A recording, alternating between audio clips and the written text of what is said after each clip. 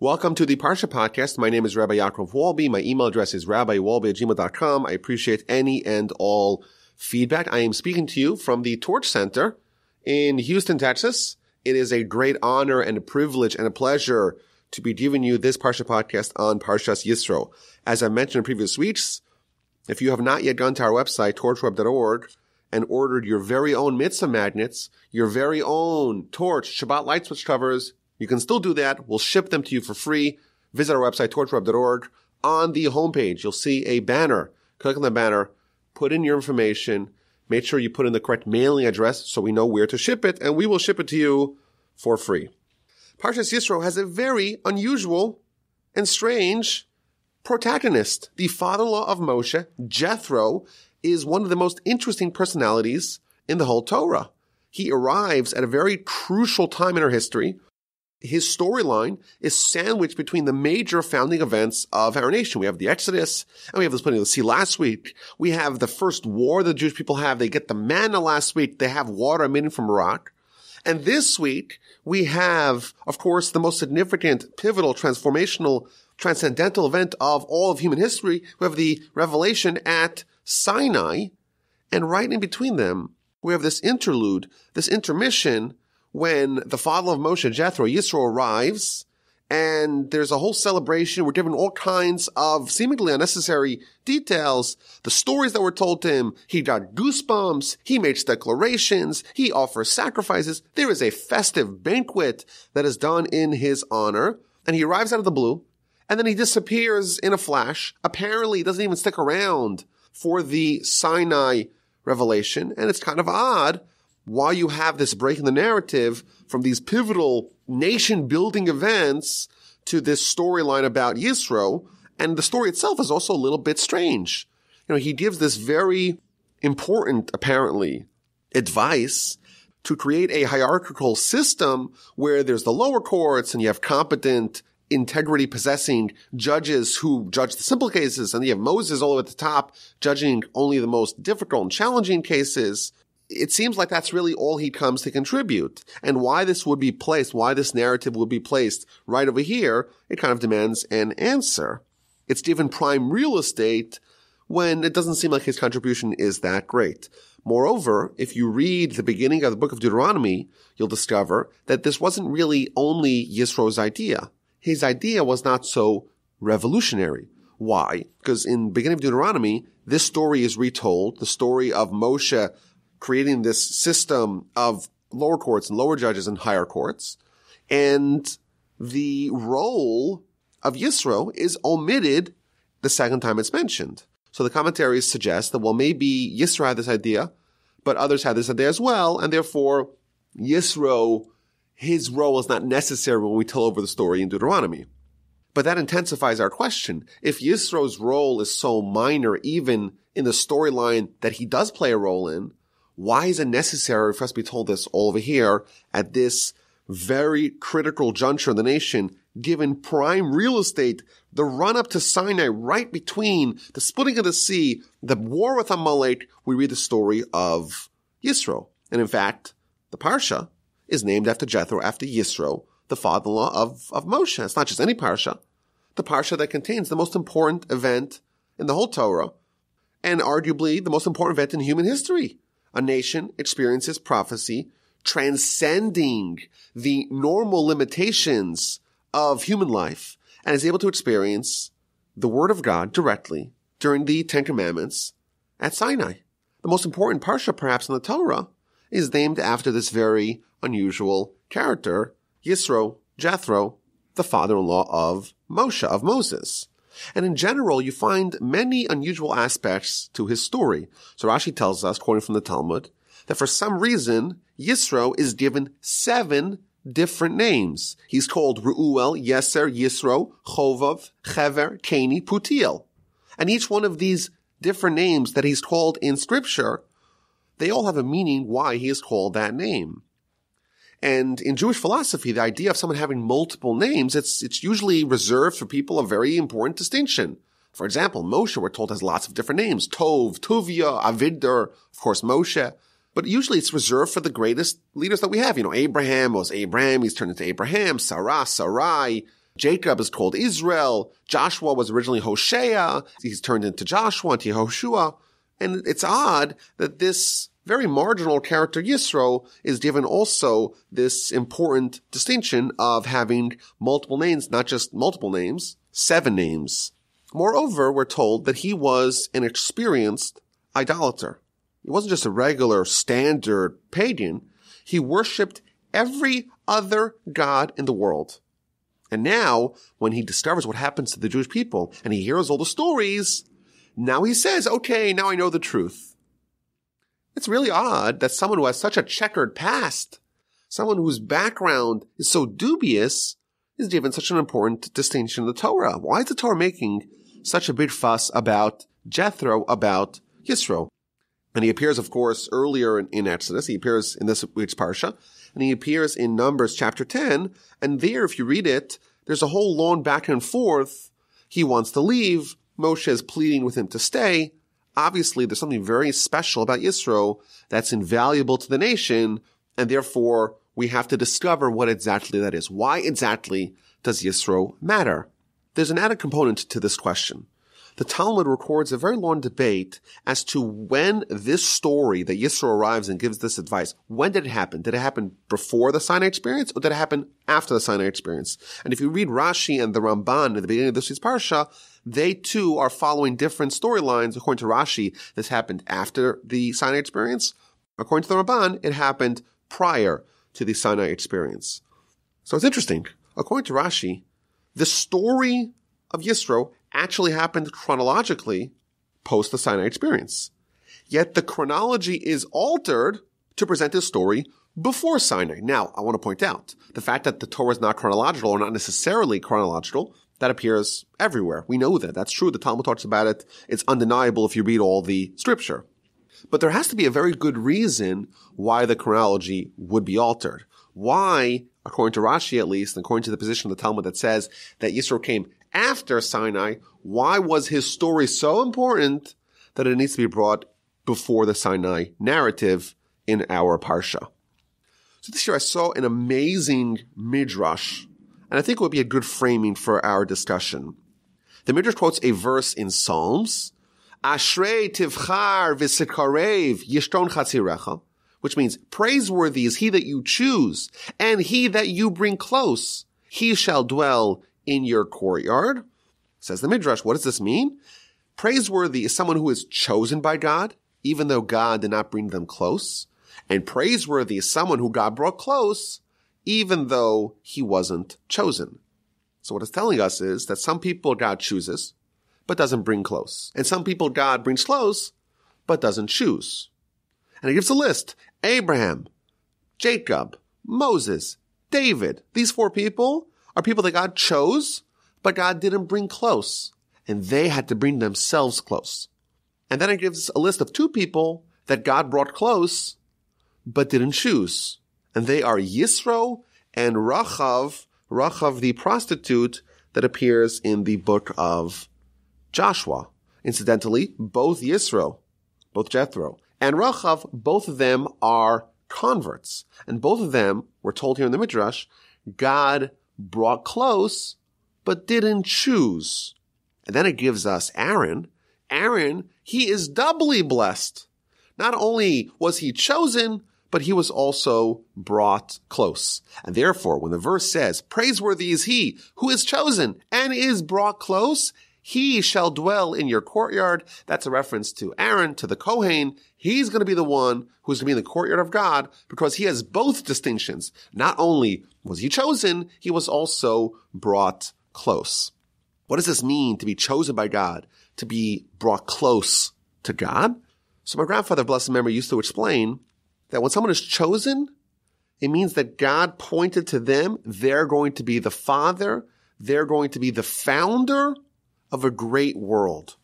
Abraham, Moses, Jacob, David. These are people who spawned absolute dynasties.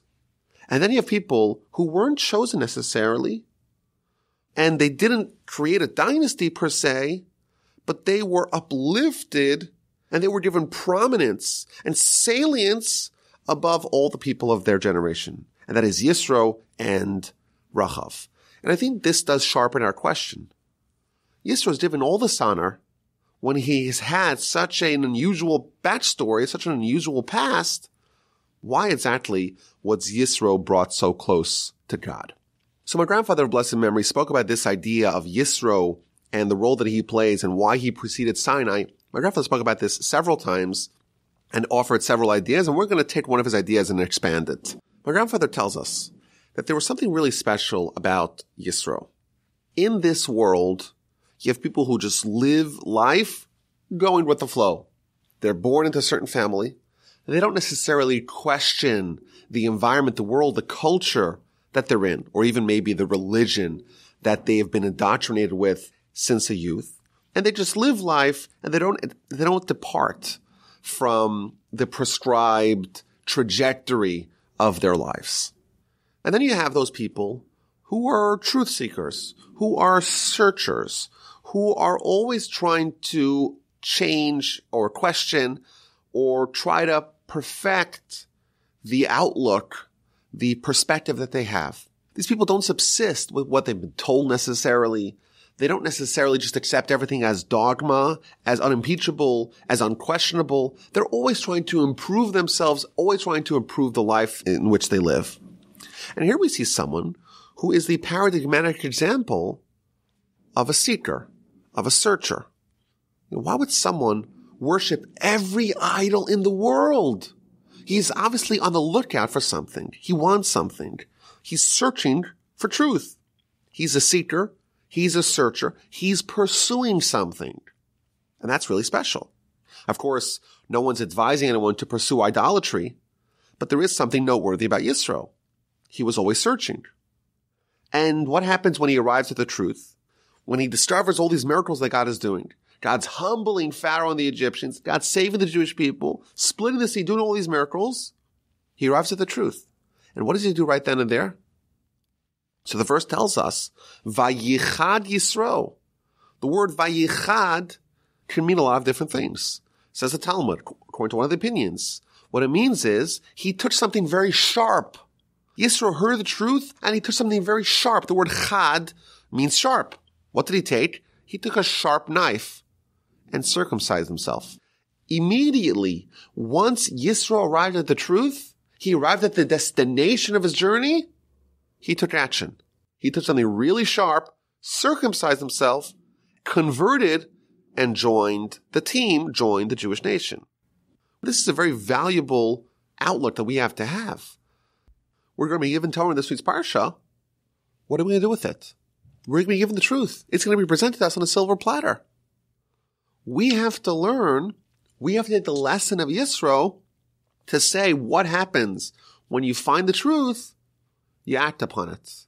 You take concrete steps to integrate it, to, absorb it, to digest it, to make it change your life. Moreover, my grandfather added, Yisro was someone who was always seeking to find clarity in matters of faith we perhaps may think if we're fortunate enough to grow up in a an environment steeped with the rich heritage of, of Jewish history and, and Jewish life and Torah, we may think, you know what? That part of our lives, faith, well, that's the box that we already have checked. After all, we grew up in a very wholesome Jewish environment. And therefore, we could pursue other spiritual agenda because faith is already covered. But faith, it's not a yes, no, binary on, off question. Faith is something we have to always strive to enlarge, to augment, to make our faith as true, as impregnable as possible. And Yisro here's the model. He was someone, when he arrived at truth, it was so clear, it was so unimpeachable he had already gone through all the other false faiths, and now he's taking action once he arrives at the truth. Want to suggest another angle to, to Yisro's salience, and of course this is building upon what my grandfather already said. The Talmud gives us some very interesting details about his backstory. So the Talmud Book of Sota, page 11a, it's also brought down in Sanhedrin. Talmud tells us that Yisro was originally Egyptian, and he wasn't just an ordinary Egyptian. he was actually part of Pharaoh's triumvirate, Pharaoh's inner circle, Pharaoh's advisory board, his cabinet, when they were discussing what to do with the Jews. Pharaoh had a Jewish problem. He gathered in his closest advisors. One of them was Yisro. The other two, by the way, says the Talmud, was one of them was Bilam. Of course, we'll meet him later on in the book of Numbers. And one of them was Job. And he asks them what to do. What do we do with these Jews? They're taking over the country. And we know ultimately he chose to enslave them, torment them, oppress them.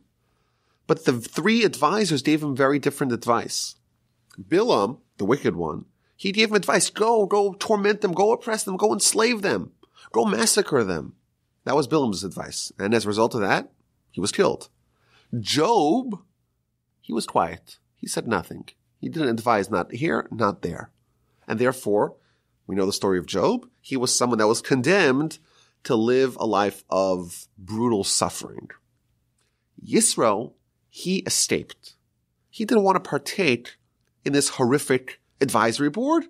And as a result of that, says the Talmud, his descendants, they sat in the marble chamber, meaning they were part of the greatest body of Jews, the Sanhedrin. They were part of the leadership of the Jewish people as a result of his valorous and noble act of escaping from Pharaoh's advisory board. And I think this, this does add another interesting wrinkle. Yisro was part of Pharaoh's cabinet. He was closely linked to one of the worst villains of Jewish history.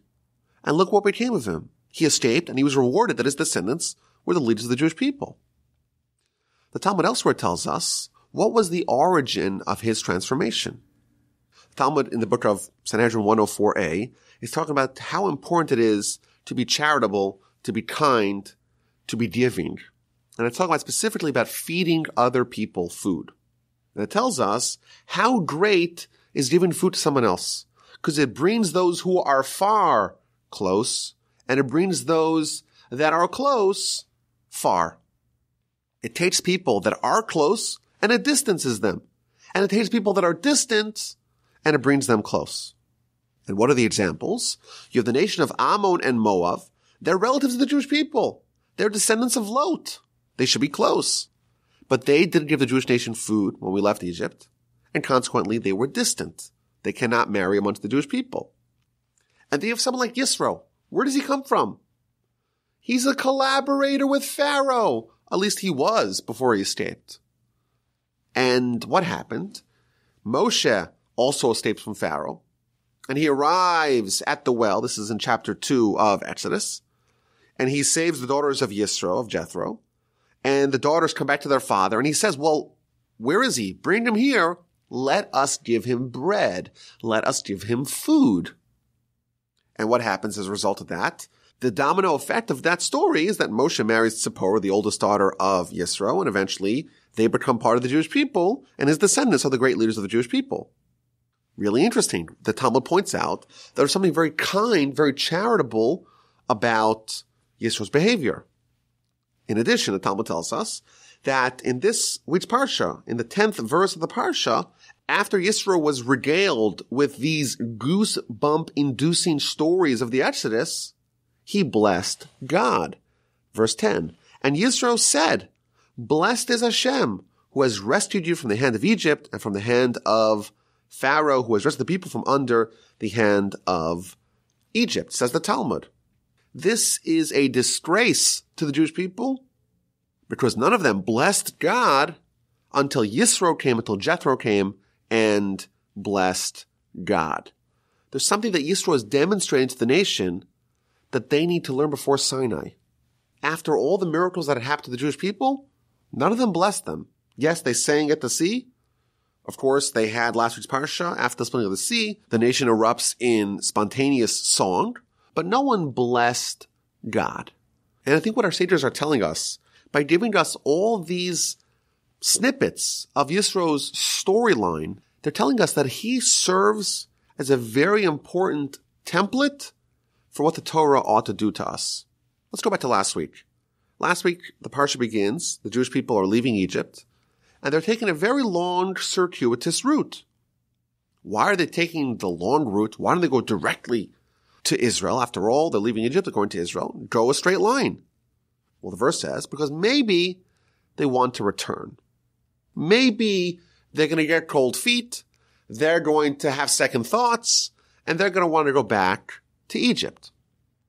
Even though they left Egypt, Egypt didn't really leave them and they may have second thoughts and want to go back. And then throughout the parsha, they're complaining. They don't have perfect faith in God. They doubt God. They have no food and right away they complain. Right away they blame Moshe. They blame God. Apparently, the nation is not quite ready for showtime. Comes along Yisro, comes along Jethro, and he shows us how this is supposed to be done. He is the model of the spiritual metamorphosis that the Torah advocates. Look where he came from. And look what he turned into. He was a cognoscenti of idolatry. There wasn't a single idol in the world that he didn't experiment with. But what happened? He fled Pharaoh.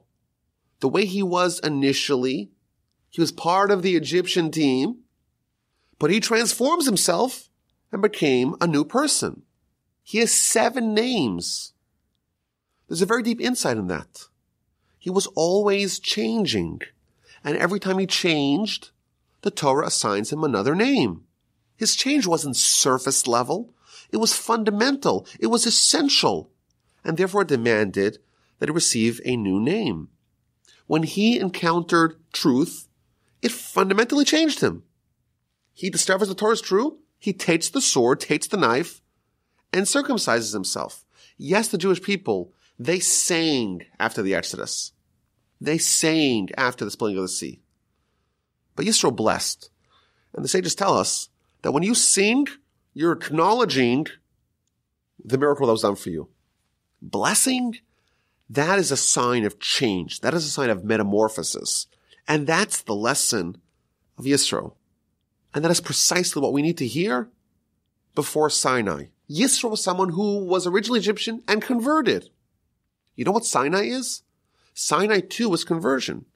And Yisro was the model of how to do that.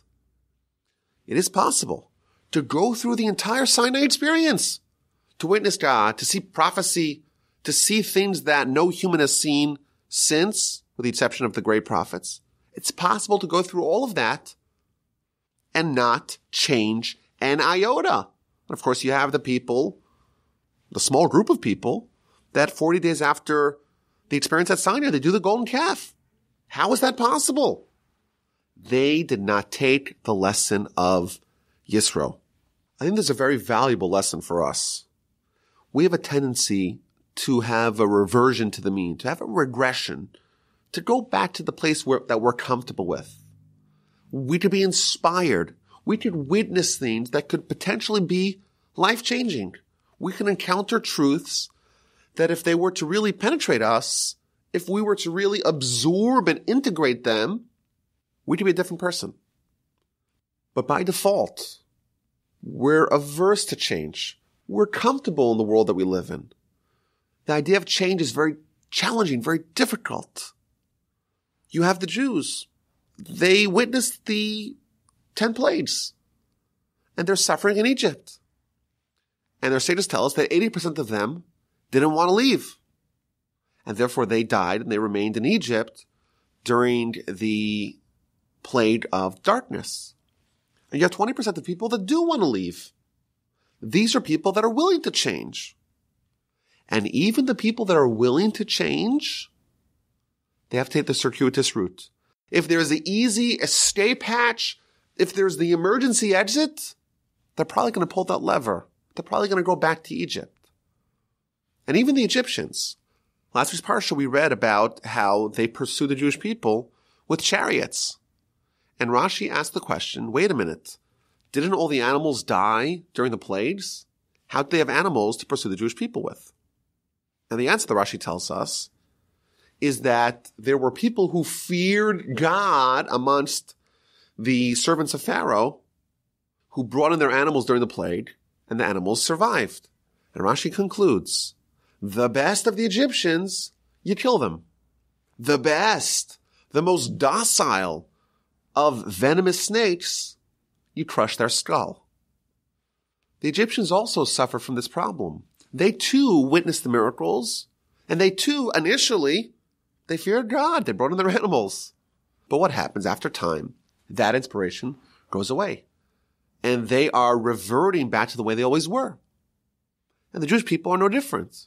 They had the experience. They had witnessed the 10 plagues, but they're probably going to run back. And now they're about to witness something even more transformational. They're about to witness the Sinai experience.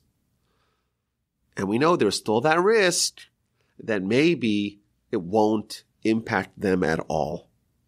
And therefore, they have to learn the story of Yisro. Look at Yisro. Look at him. He's always changing. Where does he come from? He comes from maybe the worst place of any Jewish hero. He is part of the Nazi cabinet. He's working with Pharaoh. He's a collaborator with one of the worst villains of our, of our history. And look what, what happens to him. His descendants are part of the Sanhedrin. His descendants are leaders of the Jewish people. His son in was Moshe. Where did that come from? So the Talmud tells us it came from kindness. It came from him being charitable. It came from him being good. There was something good about him that didn't tolerate this. But in addition, besides for the character of goodness and, and, and charity and kindness, he was someone who was tenaciously in pursuit of truth. He was someone, when he did encounter the truth, it automatically changed him to the degree that he had to get a new name. He was a new identity. He was a new person. And then he discovered another truth and he became another new person until finally he became Yisro. And indeed, once he experienced the final truth, he's circumcised. He's part of our team forever. And he merited to have his descendants be the great leaders of the Jewish people. I think it's a very, very valuable lesson from Yisro that's so critical. We have to hear it before Sinai, even if it actually happened chronologically after Sinai. This was a great pleasure to study this parsha with you. I apologize for coming in so late. I know it's Friday, so was a busy week, so I apologize for that. Hopefully next week, please God, we'll have a parsha podcast done earlier in the week. Cannot promise, but I'm going to try. I thank you again for your listenership. Thanks for listening to the Parsha podcast. My name is Rabbi Yaakov Wolbe, coming from the Torch Center in Houston. Have an amazing Shabbos.